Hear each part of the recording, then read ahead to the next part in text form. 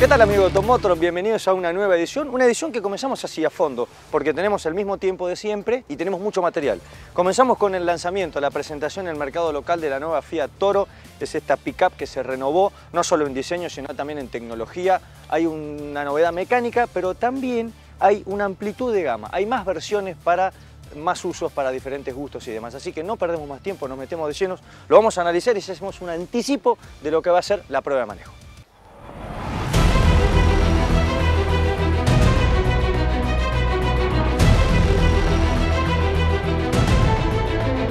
Bueno, Marco, estamos con la nueva Toro. Cuando uno dice nueva Toro, la mirás a simple vista y dices, bueno, a ver, empiezo a pensar qué es lo que fue cambiando. Sí, yo que estoy en este rubro me doy cuenta de un montón de cosas.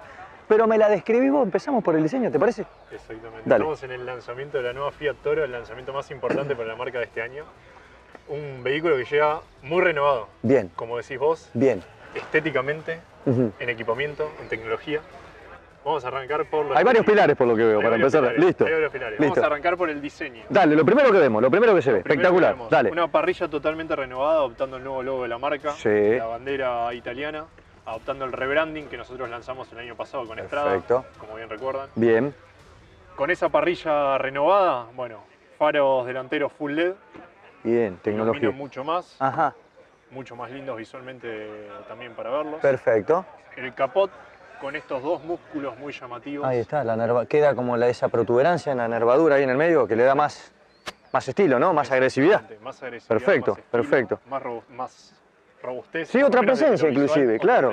Ujú.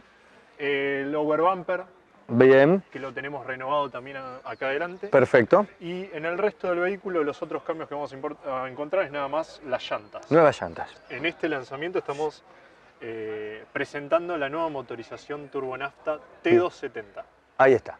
El 270 la gente puede decir, ¿270 caballos de potencia? No. No, Decimos que es otra cifra muy importante también. exactamente. Hay una tendencia ahora, viste, que están Sí, empezando, Totalmente. como todas las marcas, a comunicar el torque. Ahí está.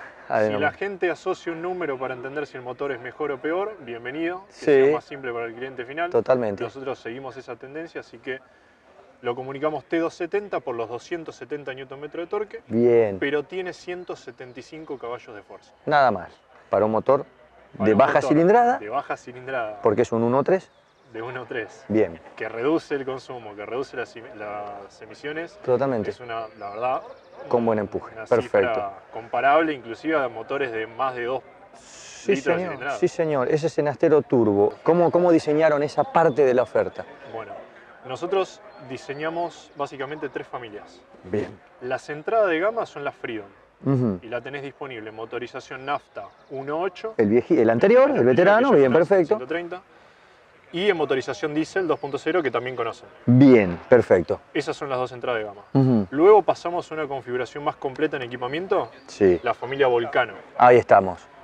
Tenemos una Volcano nafta que antes no teníamos. Sí, y Está perfecto. adoptando este nuevo motor turbonafta, Bien, súper completa en equipamiento. Bien. Y vamos a tener una Volcano diésel bien, con el multijet de siempre, con el perfecto. multijet de siempre. Y como tope de gama, Sí. tenemos una versión ultra que Ajá. también estamos estrenando en este lanzamiento. Bien, bien. Esa nueva versión, en lo único que se diferencia de la versión Volcano Diesel, es en la estética y en la capota rígida de la caja de carga, Que ya viene con ella. Que ya viene con ella, Bien. viene con un bolso Mopar también para meter las cosas adentro. Claro, viste, cuando andás en un camino de tierra, a veces te olvidás, tiene, quieras o no, con el paso de la arena, el polvo ese finito se mete, podés resguardar los bolsos adentro. Estuvimos viéndolo y la verdad que es súper práctico.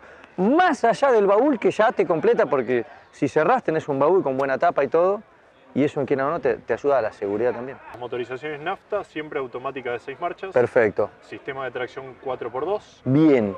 y para todas las motorizaciones diésel, caja automática de 9 marchas nueve. y todas 4x4. En el diseño mucho tiene que ver algo que es con la conectividad y la vida a bordo, el confort, y son las pantallas, cada vez son más lindas, como más llamativas. Y ahí también tienen una novedad ustedes, ¿no? Sí, sí, sí. Háblame de eso, porque capaz parece una tablet cuando la vi. Bueno, una persona primera, del promedio, ni bien abre el auto, es como vos decís. Te vas allá. vamos a la central Te vas multimedia. allá, sí. Tenemos una central multimedia Sí. gigante de Bien. 10,1 pulgadas vertical Total- para la versión Volcano y Ultra. Totalmente. Bien. Y una central multimedia también más grande de la que ofrecemos hoy en día, que es de 7, Apaisada.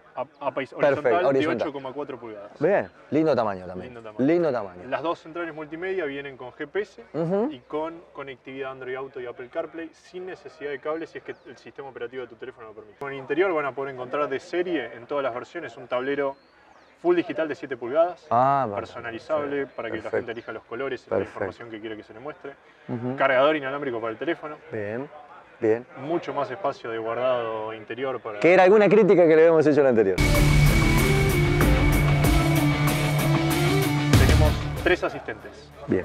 El asistente de frenado precolisión, que detecta el objeto que tenés adelante y te tira una alerta. Si vos no frenaste en ese segundo, medio segundo que te tiró la alerta, clava los frenos y frena para evitar la colisión. ¿Te lleva a cero inclusive? Te lleva a cero. Ah, perfecto, listo, listo.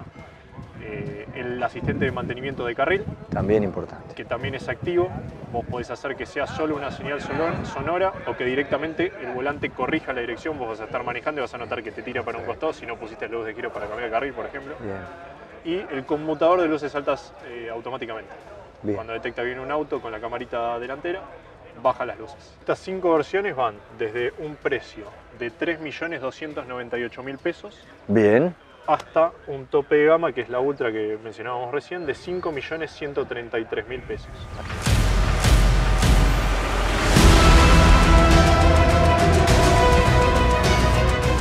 Me imagino que preparar una, renovación de ese producto es todo un desafío para la marca, pero al mismo tiempo también les renueva esas esperanzas de seguir bien en el mercado. ¿Cómo la reciben? ¿Cómo llega? ¿Y cómo nace esta nueva Toro? Mirá, eh, esto que decís es muy cierto, porque Toro eh, te diría que hizo un subsegmento. Eh, me parece a mí que como producto nosotros lo que buscábamos es, teniendo en cuenta el éxito de la Toro, como la conoce todo el mundo, la gran dificultad y el gran compromiso de generar un producto todavía mejor al, al producto que ya tenés, que es de excelencia. Entonces, ¿qué es lo que buscamos? Lo que buscamos con Toro es justamente ampliar nuestra gama de productos dentro de lo que es Toro. Por eso tenemos estas cinco versiones, por eso tenemos dos frentes distintos. Bien, en el caso de lo que es Volcano y Freedom, este frente que vemos acá, pero en el caso de la versión Ultra, un frente diferente. Tenemos, por ejemplo, a nivel de tecnología, lo que es, dependiendo de las versiones, una pantalla de 8.4 horizontal o una pantalla de puntos vertical. Eh, entonces, lo que buscamos es que la gente, cuando vaya a ver en la nueva Fiat Toro a un concesionario, encuentre diversidad de productos dentro de la excelencia de lo que ya es Toro a nivel de motorización, a nivel de equipamiento, a nivel de seguridad y a nivel de tecnología. Desde ahí que lo, lo que nosotros intentamos llevar al mercado justamente es una novedad con algo que ya es un éxito o que viene de un éxito, pero una novedad que marque una diferenciación donde una persona que ya hoy tiene una Toro y está contenta y conforme con su producto, entienda que esta nueva Fiat Toro es algo diferente y que va a encontrar algo distinto a lo que tenía, pero siempre subiendo de la vara y mejorando lo que es un producto dentro de un subsegmento que nosotros creo yo que terminamos de afianzar o de inventar en este sentido.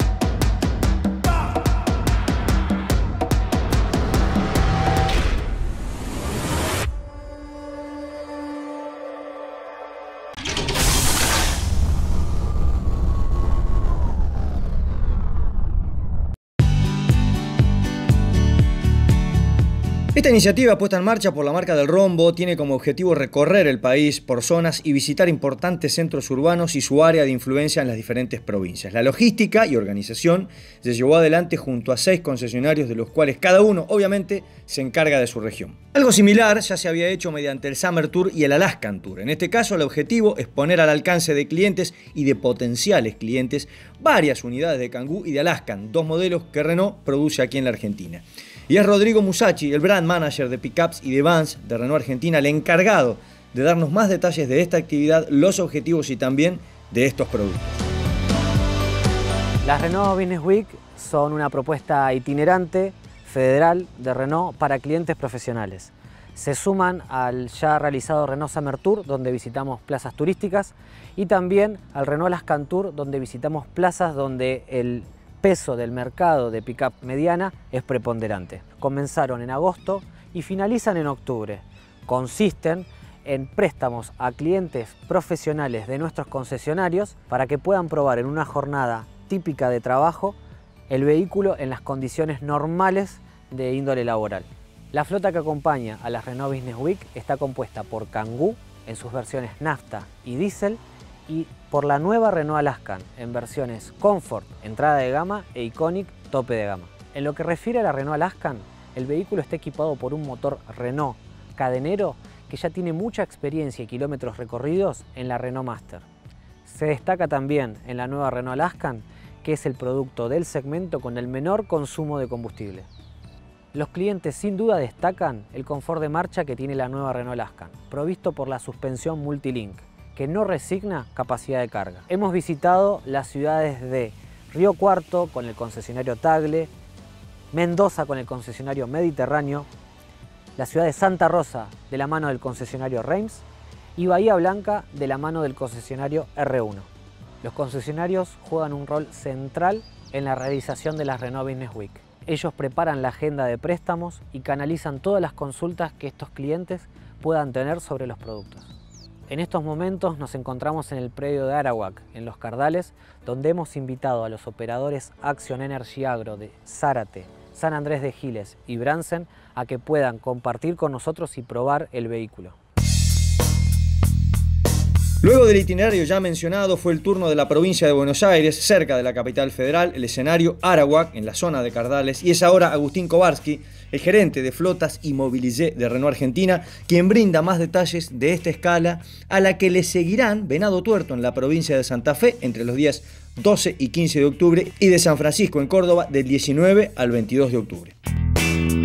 Esta acción está enfocada básicamente en el agro, así que el primer este cliente acá, estamos hablando de un cliente profesional eh, relacionado a actividades del agro y también abarca por el tipo de uso mixto que tiene este tipo de productos a otro tipo de clientes también, profesionales también, este, que no necesariamente se dedican al, agro, estamos hablando de contadores, escribanos, eh, arquitectos, agrimensores, es decir, este tipo de vehículos tiene una versatilidad que, eh, y prestaciones que hace que se extienda también dentro del, rubro profesional a diferentes eh, actividades, ¿no es cierto? Contamos también con financiación, con leasing, eh, programas obviamente adecuados mes a mes que los construimos junto con Renault Credit, dado que es un producto de trabajo y que muchas, eh, muchos de los clientes eh, requieren financiación justamente para la adquisición de las mismas. No olvidemos que no es solamente que compran de una camioneta, sino que nos encontramos con clientes que compran de más de 50, 20, este, es decir, volúmenes importantes que requieren de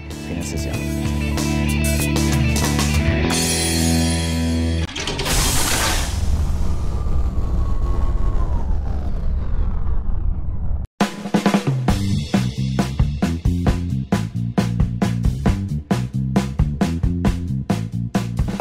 Llegó el momento de la prueba de manejo y ¿qué tenemos acá? Uno que ya podríamos decir que es conocido por nosotros. ¿Por qué? Porque hablamos del 208 Nacional, el modelo que Peugeot produce en el complejo del Palomar. ¿Y por qué decíamos que es ciertamente conocido para nosotros? Porque ya lleva un tiempo en el mercado y porque ni bien se presentó, nosotros nos subimos a la versión Felín, que es la tope de gama, más acá en el tiempo, no hace muchos días atrás, o, programas atrás por decirlo de alguna manera, probamos la versión GT Line que viene desde tierras europeas. Así que en este caso estamos, ¿cuál es la excusa de subirnos? Bueno, la, digamos, la gama es amplia, por ende nos debíamos una prueba con una versión un poquito intermedia. Estamos con Allure, con el motor aspirado, el 1.6, y con la versión manual, es decir, con una caja manual, no la Tiptronic de 6 velocidades. Así que nos parecía un lindo combo como para analizar, como para probar, comentar y llevarte a vos nuestras apreciaciones. Un modelo 100% eh, urbano, pero que no se le achica la ruta por cuestiones que ya vamos a estar comentando en algún momento. ¿Y qué tenemos en cuanto a lo que es la estética, lo que es la imagen? Sin ser el tope de gama, está bastante cercano a lo que es Felín. A ver, eh, en línea general, primero y principal, para mí el diseño es lo más lindo del vehículo, es digamos la parte más destacada que tiene este producto porque le dieron en la tecla, porque siempre Peugeot ha hecho cosas lindas, pero en este caso se las arreglaron como para que en una silueta compacta quede entre divertido, quede atractivo, bastante desfachatado en cierto modo, pero sin perder la elegancia clásica de Peugeot. Y en este caso, con los rasgos bien felinos, eh, bien exagerados y le quedan bien en estas proporciones. Podemos decir que es una silueta bien equilibrada. ¿Y qué mantiene? La parrilla, esta boca enorme, diamantada. ¿Por qué diamantada? Porque tiene estas pequeñas perlas eh, de ahí con un tono brillante que le queda bien el viejo logo de Peugeot, ¿eh? vos recordás que van a empezar a venir con el escudo que hace referencia a lo retro, a las primeras épocas de, la marca francesa, todavía acá está el, león rampante, y tenemos estas ópticas bien rasgadas con los colmillos, bien felinos también, que acá encontramos la primera diferencia porque quieras o no, nos va a llevar a hacer una comparativa con la Felín. Eh, acá, ¿qué tenemos? No tenemos las luces full LED, tampoco las tres garritas que tiene en las ópticas la versión tope de gama. Llantas de aleación también de muy lindo diseño que le queda bien a la imagen de 16 pulgadas. Y después te decía, eh, por ahí el color negro no nos permite jugar mucho con lo que son los detalles porque se, se aplana mucho la imagen, no recorta bien. Nos vamos a la parte trasera, también tenemos que ahí eh, el aleroncito que aparece como más esculpido en otra versión no está, este está más integrado eh, como una culminación del techo y no tenemos demasiado. Así que por ahí pasa lo que es la presentación, el porqué de probar esta versión y también lo que es la parte estética.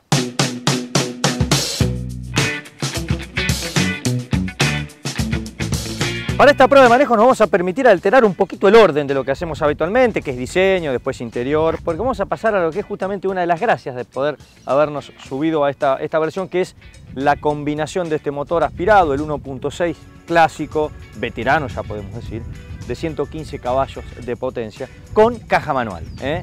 Porque inclusive hasta lo, habíamos tenido con la Tiptronic de 6 velocidades en la versión Felim, pero bien valía la pena ver cómo se comporta. Lo primero a decir, y la primera objeción, si se quiere, que se trata de un motor ya viejito, ¿eh? ya pasado de moda. Eh, y, por qué me, me permito decir esto? Porque ya hay sobrados ejemplos de motores comprimidos, chicos, esta famosa tecnología downsizing, que es hacia donde va la industria, que son motores con muchas mejores prestaciones en bloques chicos, es decir, cilindradas pequeñas. Este, de un litro tenemos motores con muy buen rendimiento. Así que bueno, hecha esta, esta apreciación, queríamos decirte que es un motor lógico y que con esta combinación de la caja se lleva bien.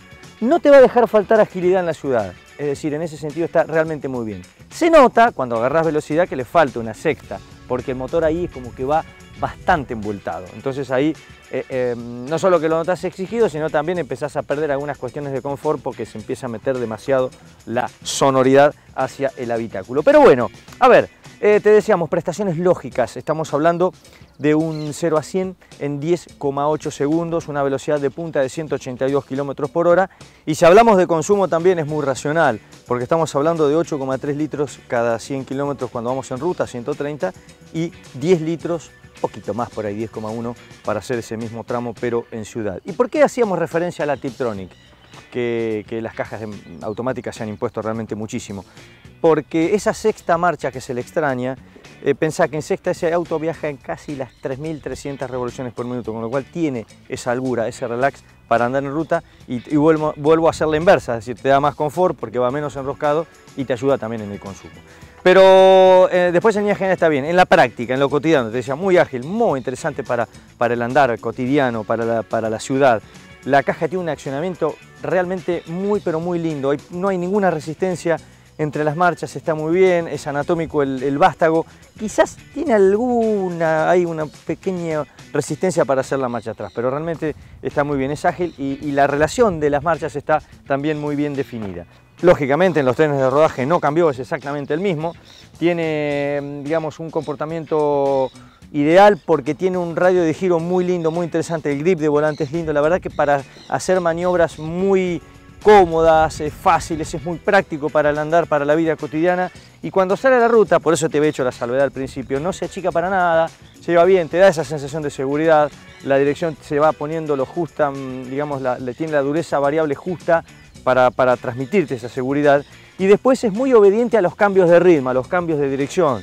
Tiene inclinaciones algunas, pero no muy, no muy marcadas. Entonces se te decía, vas a ir siempre bien apoyado, siempre obediente y no te va a salir con ningún martes 13.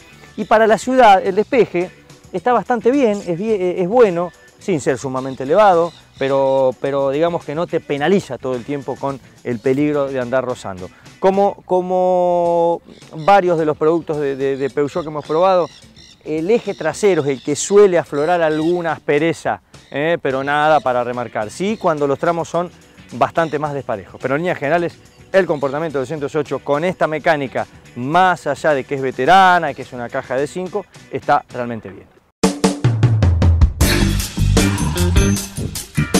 Vida a bordo, a ver qué es lo que ocurre. Primero y principal, me gusta el diseño, me gusta la presentación que tiene el auto y también ya me meto con lo que es la calidad de las terminaciones y también de los materiales. Más allá de que hay alguna superficie mejorable, en líneas generales está bien y eso habla a las claras de un esmero que hay en la planta de aquí de la Argentina que tiene en Palomar el grupo francés. Después tiene este cuero ecológico que recubre el, volante, la verdad que está, está bien y combina el negro con la parte más clara de lo que son los pilares o los parantes y el techo. Hablamos de cómo está diseñado y tiene el famoso iCockpit, que es la último que ha desarrollado la marca francesa en cuanto a lo que es la posición de manejo, ¿eh? que es una conjunción entre un volante chiquito de lindo grip plano y todo bien en plano, bien apaisadito todo lo que es el instrumental, que es configurable, que tiene un efecto 3D, que lo puedes poner a tu gusto y que tiene muy buena información y muy bien mostrada.